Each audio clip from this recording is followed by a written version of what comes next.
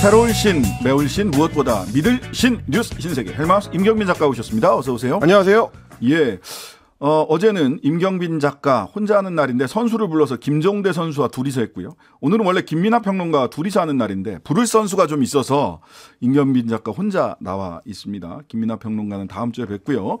자, 그리고 이번 주에 진행되고 있는 MBC가 쏜다, 쏜다, 쏜다. 어제 30분께 쌀 드렸는데 반응 폭발적이었습니다. 10kg입니다. 쌀. 어, 한 분한테 드리는 게. 5536님, 아내가 늘 2% 청취하면 쌀이 나와 국이 나와 했는데 쌀이 나온, 나온다는 걸 증명하고 싶어요. 라고 문자 보내주셔서 쌀 드렸습니다. 폭발적인 반응에 힘입어 오늘도 30분께 쌀 드립니다. 받고 싶은 분들은 예, 짧은 건 50원, 긴 건 100원, 문자 번호 샵 8001번 혹은 무료인 스마트 라디오 미니 어플리케이션으로 사연 보내 주시면 되겠습니다. 쌀 받으신 분들 꼭꼭 쌀 한 공기씩 다 비우시기 바랍니다. 자, 이거 한참 갈 것 같다라고 예상을 했는데 역시나 용산 도감청 의혹은 거짓이다라고 대통령실에선 이야기했습니다. 김태효 어, 차장이죠. 안보실 제2차장 김일문서 차장, 상당수 위조의 한미 평가가 일치했다.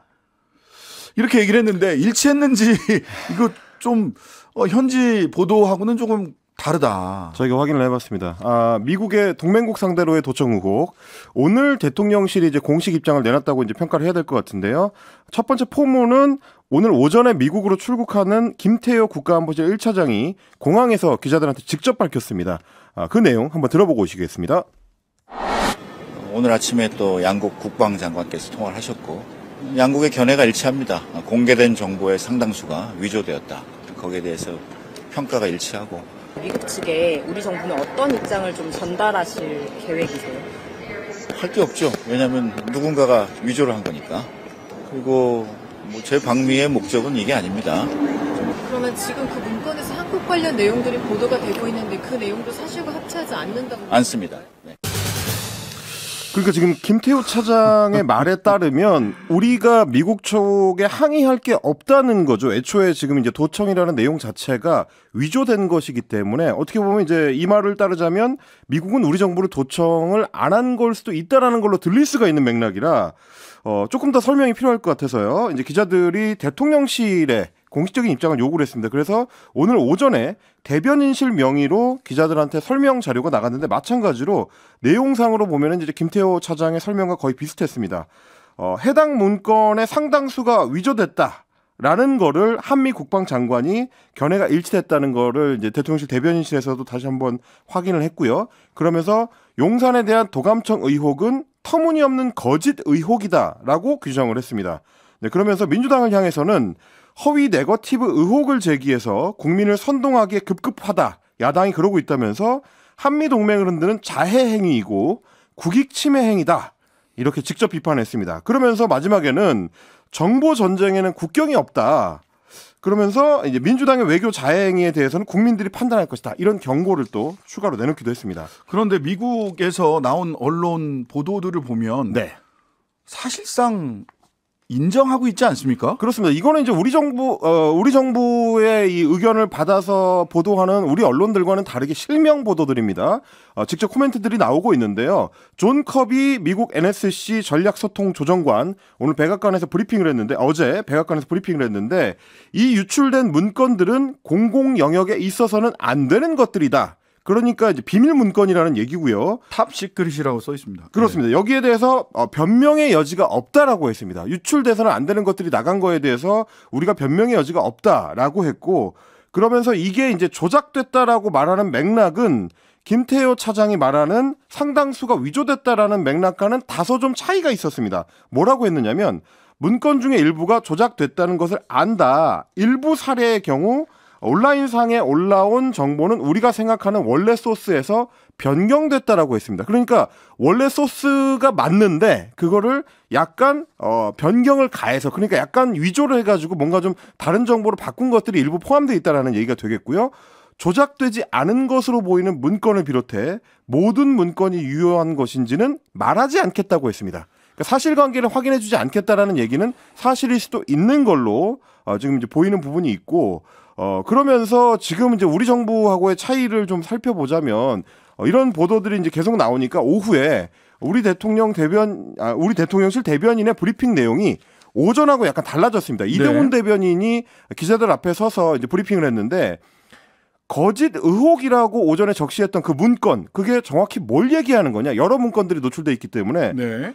어, 기자들이 질문을 했습니다. 거기에 대해서 이동 대변인이 뭐라고 답했냐면 아직도 상황을 파악하고 있는 중이고 기본적으로는 정보 관련 사안이기 때문에 일일이 설명하기 어렵다. 그러니까 오전에 이건 명백하게 조작된 것이다 라고 했던 것과는 약간 온도 차이가 있는 답변입니다. 그러면서 기자들이 또 추가로 물었습니다. 네. 백악관에서 변명의 여지가 없다라고 사실상 도청을 인정했는데 터무니없다고 하는 우리 대통령실 설명하고 온도 차이가 난다 이렇게 질문했더니 문서 유출 사고에 대해서 말하는 것일 거다 백악관의 설명이라는 거는 그러면서 공개된 문건이 다 맞는 문건인지 이견이 있고 그 부분을 미국 정부가 조사하고 있다라고 한 발 물러서기도 했습니다. 자, 그럼 여기서 청와대 국정상황실장 역할 하고 계셨고 그리고 국회 정보위 야당 측 간사 맡고 있는 윤건영 민주당 의원 연결해서 이런 대통령실의 주장 어떻게 어, 보고 계신지 듣- 직접 들어보도록 하겠습니다. 의원님 나와 계시죠? 네, 안녕하세요. 구로울의 윤건영입니다. 네.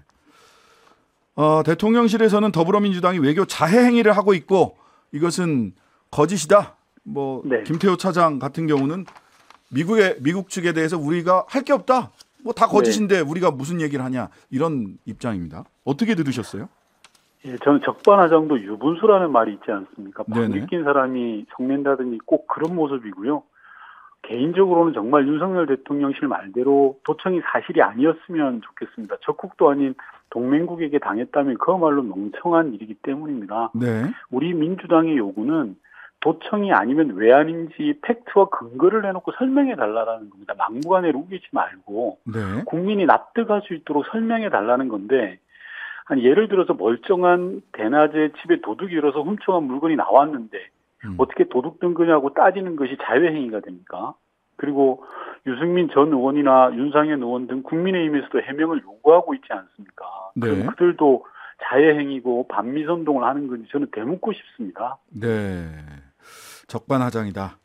자, 그러면서 용산 네. 대통령실은 어, 군사 시설이기 때문에 이전 청와대보다 훨씬 강화된 도감청 방지 시스템을 구축 운용하고 있다. 네. 이렇게 이야기를 하거든요. 지금 청와대와 용산 대통령실.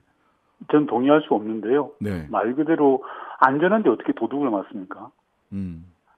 뭐 전혀 성립되지 않는 주장이라고 생각합니다.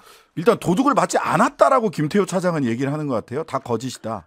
우선 그 부분에 대해서도 방금 보도한 것처럼 미국 백악관에서도 기밀 누설은 인정했다고 하지 않습니까? 예. 즉 우리의 1급 기밀 정보가 도둑 맞은 것은 사실로 추정됩니다. 근데 네. 지금 현 정부는 오늘 오전까지 용산 대통령실에 대한 도청만은 없었다라고 강변을 하고 있거든요. 네.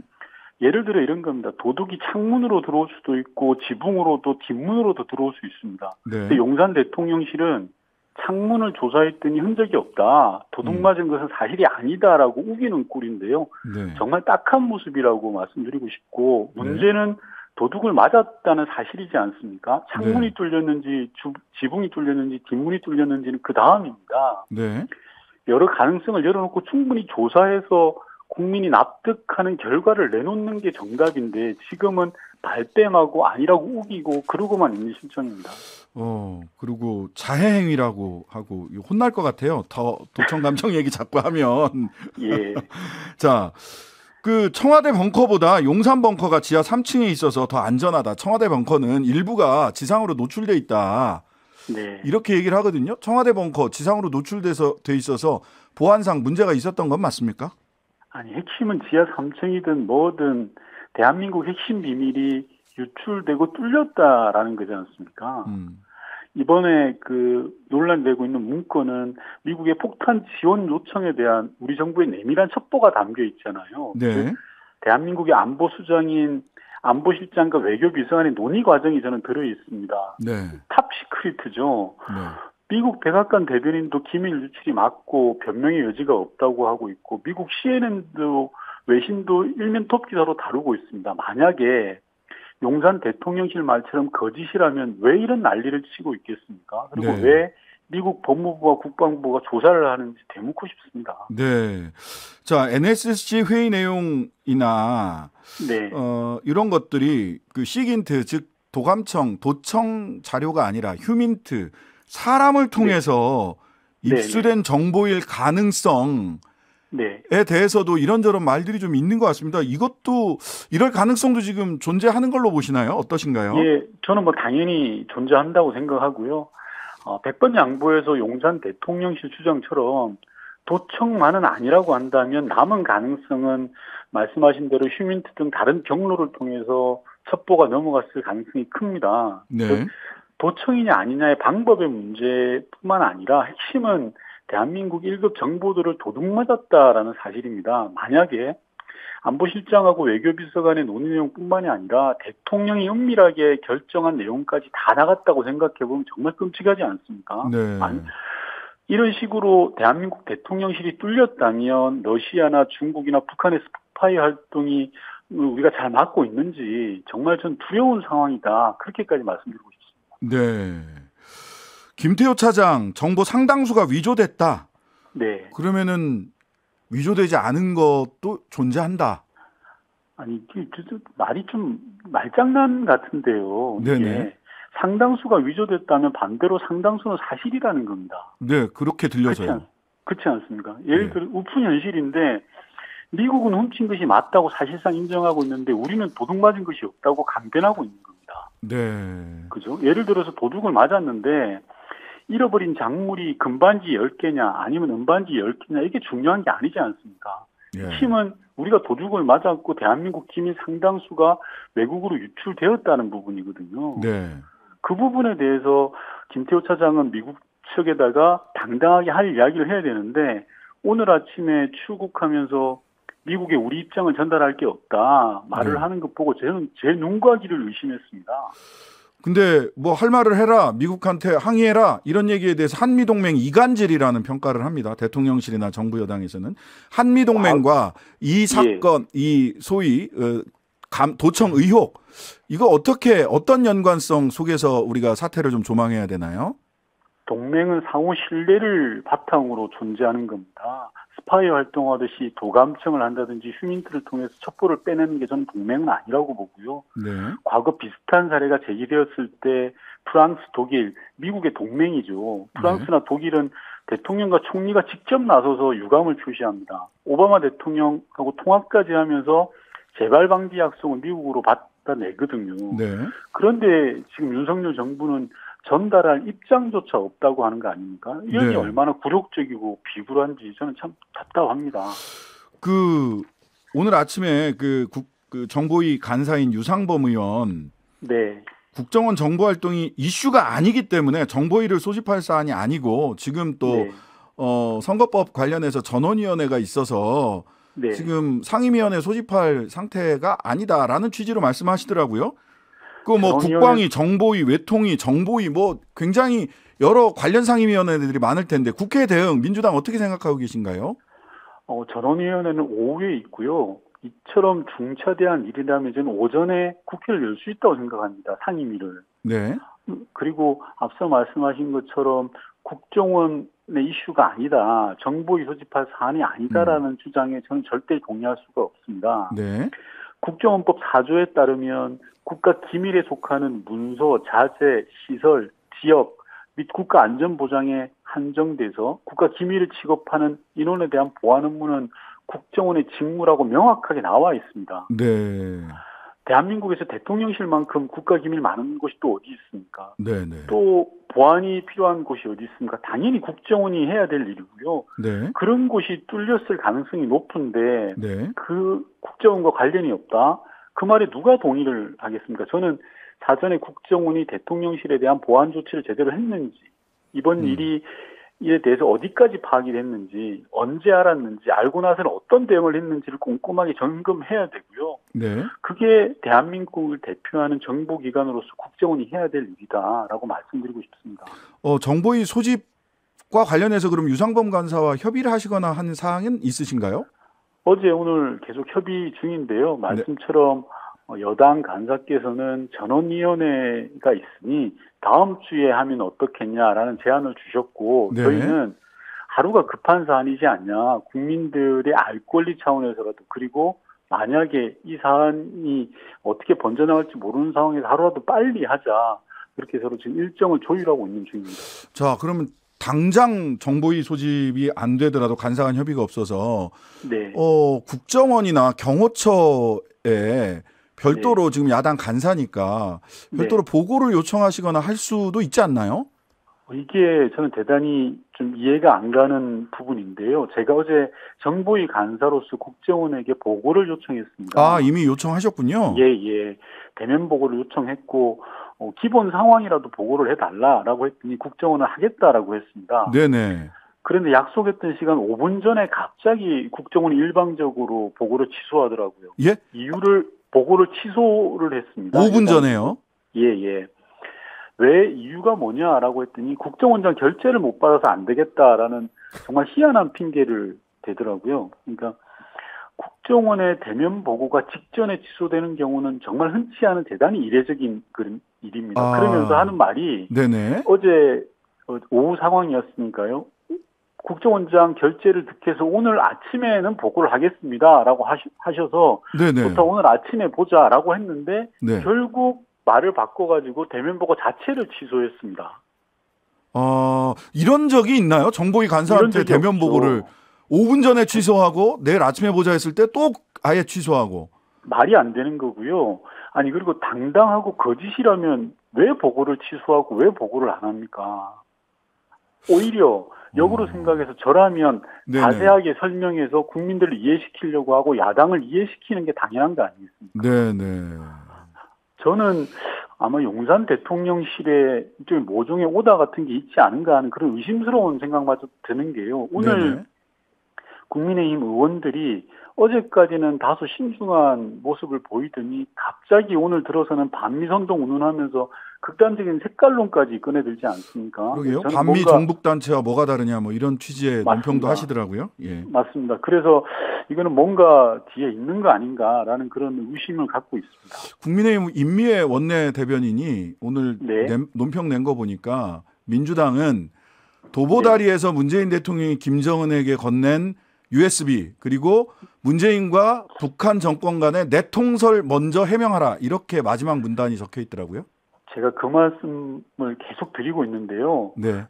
그 문재인 대통령이 김정은 위원장에 건넸던 USB는 지금 윤석열 정부가 가지고 있습니다. 아, 통일부에 그대로 있습니다. 그거 공개하면 됩니다. 만약에 네네. 공개해서 원전 지원에 원자라도 없으면 윤석열 정부가 책임져야 됩니다. 제가 네. 계속 주장하는데요. 네. 문재인 정부가 가지고 있는 게 아니라 윤석열 정부 통일부가 가지고 있습니다. 공개하면 그날로 진실이 밝혀지는데 왜 공개 안 합니까? 네. 전 이해가 안 됩니다. 예.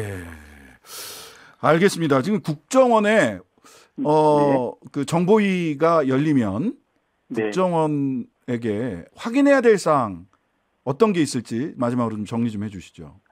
어, 우선 제일 중요한 것은 대통령실에 대한 보안 조치가 평소에 어느 정도 돼 있었는지에 대한 확인이 필요합니다. 그리고 대한민국 정보 기관으로서 국정원이 이번 일에 대해서 사전 파악이 됐었는지, 그리고 파악하고 나서 초동 대응을 음. 어떻게 했는지, 네, 그리고 용산 대통령실을 비롯해서 비밀을 다루고 있는 정보기관에 대한 보안 점검이 제대로 진행되고 있는지 등을 따져봐야 된다고 생각합니다. 네, 알겠습니다.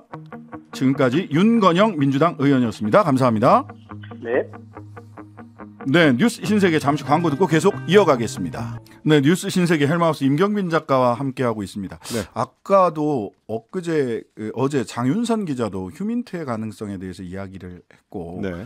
아까 그 우리 윤건영 의원도 휴민트의 가능성도 조사해야 된다 이런 음. 얘기를 하는데 그러니까 왜냐하면 이- 이런 종류의 문서는 보통 이제 정보 출처를 가리는 게 굉장히 중요한 문제이기 때문에 네네. 실제로는 휴민트를 통해서 그러니까 사람을 통해서 획득한 정보지만 다른 루트로 획득한 정보인 음. 것처럼 꾸미는 경우들이 있거든요, 실제로. 네.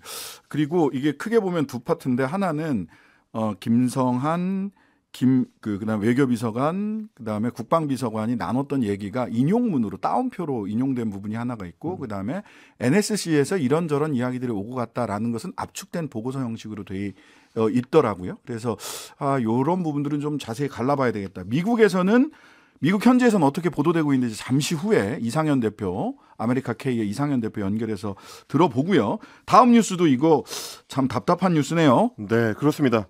어, 우리 외교부가 오늘 일본 어, 주한 일본 대사관의 대사 대리를 초치했습니다. 초치를 했다는 건 이제 우리가 일본한테 항의할 일이 있다는 얘기일 텐데 오늘 일본 정부가 외교 청서, 뭐 우리로 치면 이제 외교 백서라든지 안보 백서에 해당이 될 텐데 네. 아, 외무성의 외교 청서를 공개했는데 거기에 이제 독도를 거론을 했습니다.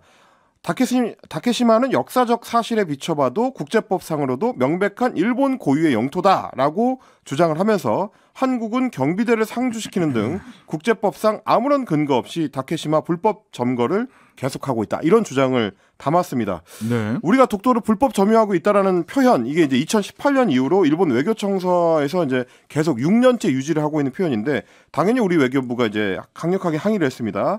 일본 정부가 외교청서를 통해서 명백한 우리 고유의 영토인 독도에 대해 부당한 영유권 주장을 되풀이했다라고 하면서 앞으로도 정부는 독도에 대한 일본의 어떠한 부당한 주장에 대해서도 단호히 대응할 것이다 라고 이야기를 했고요. 그러면서 미래지향적 한일 관계 구축 이게 지금 윤석열 정부의 중요한 화두 중의 하나인데 여기에 어떠한 도움도 되지 않는다는 점을 일본 정부가 분명히 자각해야 될 것이다 라고 촉구를 했습니다. 근데 이제 독도에 대해서는 이렇게 단호한 입장을 표명한 데 비해서 제가 좀 기사들을 쭉 보다 보니까 네네. 우리 정부의 입장이 또렷하게 안 나온 곳 중에 하나 그리고 또 중요하다고 보여지는 곳 중에 하나가 역사 인식 문제 관련해서 우리 정부가 이제 지난번에 강제 동원 문제 관련한 이 조기 해결 해법을 내놨을 때 일본 정부가 굉장히 좀 중대하게 이제 판단을 하고 또 평가를 했었는데 네. 이번에 관련 내용이 외교청서에 담겨 있습니다. 뭐라고 했냐면 3월 6일 한국 정부는 옛 조선 반도 출신 노동자 문제 이게 일본 쪽의 표현이죠. 네. 어, 이 문제에 관한 입장을 발표했다라고 하면서 매우 엄중한 상태에 있던 한일 관계를 건전한 관계로 되돌리기 위한 것으로 평가한다. 그러니까 좋게 본다는 얘기죠. 이런 일본 정부의 입장이 외교 청서에 담겨 있는데 정작 그 당시에 하야시 외무상이 밝혔던 내용, 그러니까 역사 인식을 계승한다는 표현이 빠져 있었습니다. 그때 뭐라고 네. 했냐면 일본 정부는 1998년 10월 발표된 한일 공동 선언을 포함해서 역사 인식에 관한 역대 내각의 입장을 전체적으로 계승하고 있다는 것을 확인한다. 이게 우리 정부가 그때 받아들이기로는 에, 사과 표현 혹은 반성 표현의 연장이다라고 했던 건데 이 대목이 정작 외교청사에는 아, 반영이 청서. 돼 있지 아, 외교청서에는 반영이 돼 있지 않았습니다. 네. 2018년 대법원 판결에 의해 매우 엄중한 상태에 있던 한일 관계. 남의 사법부 판결을 가지고 이러쿵 저러쿵 감나라 대추나라 평가하고 그렇습니다. 왜들 이러십니까? 예. 그거는 이제 사실상 2018년 한국의 대법원 판결이 한일 관계를 경색시켰다라는 식의 표현인 거고요. 네. 어, 우리 외교부가 이런 부분에 대해서도 좀 단호한 조치를 취해 주는 게 국민들이 보시기에 좀 합당하지 않을까라는 생각은 듭니다. 네. 그런데 대통령실만 일본이 이렇게 나올 줄 모르셨던 것 같아요. 예. 역시 사람은 찍어 먹어 보지 않아도 똥인지 된장인지 구분할 줄 아는 사람과 꼭 찍어 먹어 봐야 아는 사람이 있기는 합니다. 예. 근데 이제 가끔 찍어 먹어 보고도 예. 그렇게 생각하지 못하시는 분들 종종 있습니다. 자, 전광훈 발 전광훈 발 여당 내홍 점입 가격입니다. 어, 오늘은 에, 홍준표 대구시장하고 김기현 국민의힘 대표가 또 한 번 충돌한 날입니다. 어, 홍 시장이 오늘 오전에 이제 페이스북에 글을 올렸는데 국힘 지도부가 국민의힘 지도부가 지금 이제 전광훈 목사에 대해서 제대로 대응을 하지 못하고 있다라는 에, 글이었습니다. 어, 국민의힘 지도부가 그 사람은 우리 당원도 아니다라는 식으로 소극적인 부인만 하면서 눈치를 보고 있다라는 비판입니다. 그러면서 입에 욕을 달고 다니는 목회자와 페이크 뉴스만 일삼는 극우 유튜버 데리고 선거를 치를 수 있다고 보나 도대체 무슨 약점을 잡힌 것이냐라고 하면서 총선이 1년밖에 안 남았는데 참 답답하다 이런 비판을 한 겁니다. 그랬더니 김기현 대표 역시 오전에 바로 페이스북에 글을 올렸습니다.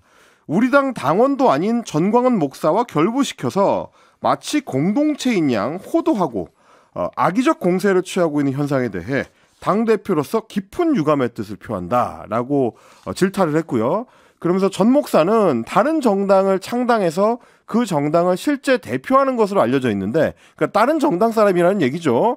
그런 사람이 우리 당과 무슨 관계가 있다는 것이냐 이렇게 얘기했고 그럼에도 전 목사의 일거수 일투족을 당과 결부시켜서 당과 당원의 명예를 실추시키는 일체의 언행에 대해 당 대표로서 엄중히 경고한다. 아, 돌고 돌아 다시 홍준표 비판이네요. 그렇습니다. 그러니까 사실 이제 이 얘기가 나오게 된 거는 어제 여러 언론에서 이제 주요 뉴스로 다뤘습니다만 전광훈 목사가 어제 기자회견을 자청을 해서 국민의힘이 내 말을 들어야 된다. 나한테 이, 어, 이 절제를 이 당해야 된다라는 식의 이제 표현을 썼거든요. 그러다 보니까 지금 오늘 이런 논쟁으로 또 이어지게 된 건데 왜 전광훈 목사에 대해서 국민의힘이 단호한 조치를 취하지 못하느냐라는 의문들이 계속 나오고 있는 와중이고요. 그러다 보니까 당 일각에서는 이런 분위기를 걱정하는 목소리들이 점차 좀 커지고 있습니다. 네. 어, 지금 소위 이제 자숙 중인 김재원 최고위원에 대해서 징계해야 된다라는 목소리들이 나오고 있는 겁니다. 이게 대통령실 발이라고 그렇습니다. 오늘 보도가 되던데요. 뉴스 아 뉴시스에서 단독 보도를 했는데 한 여권 관계자의 발언을 인용을 했습니다. 어, 이 관계자가 뭐라고 했느냐면 지난 주말에 용산에서 여당에 대해 김재원 최고위원의 징계를 요구했다라는 소식을 들었다는 겁니다. 음. 그런데 그러면 이제 어, 심지어 이제 대통령실에서 직접 요구를 했으니까 어, 여당에서 어떻게 받아들였느냐가 중요할 텐데요. 김기현 대표가 일단 어, 완곡한 거절을 한 걸로 보입니다. 이 발언에 따르면 이 어. 관계자에 따르면 일단 이양희 윤리위원장이 지금 사임을 한 상태이기 때문에 윤리위원회가 사실상 공백 상태다. 그래서 어, 징계를 하기가 좀 어렵다라는 거고 네. 윤리위원장을 임명한 이후에 김재원 징계권을 살펴보겠다라고 김기현 대표가 입장을 밝혔다고 하는 거니까요. 지금 당장은 어, 김재원 최고위원에 대해서 징계하기 어렵다라는 거를 완곡하게 표현한 걸로 보입니다. 예. 하여튼간에 신기합니다. 보통 그 천공도 그렇고 뭐 건진도 그렇고 또 전광훈 목사도 그렇고 당신들 그런 이- 그렇게 얘기하시면 안 됩니다라는 말을 안 하고 관련된 이야기를 전한 사람들한테 그 입 다물라 조심하라 이렇게 얘기를 하시니 어, 누구를 향해 이야기해야 될지 대통령실에서 한 번 더 좀 잘 가늠해 보셨으면 좋겠다. 뉴스 신세계 지금까지 헬마우스 임경민 작가였습니다. 감사합니다. 고맙습니다. 하루 종일 기다려지는 진짜 시사. 평일 저녁 6시 5분 신장식의 뉴스 하이킥.